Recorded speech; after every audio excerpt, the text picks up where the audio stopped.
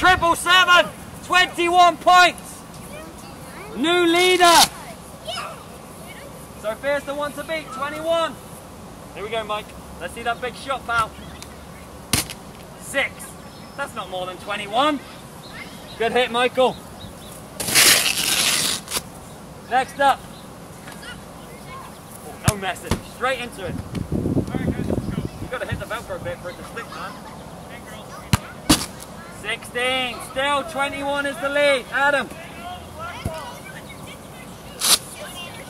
Focus.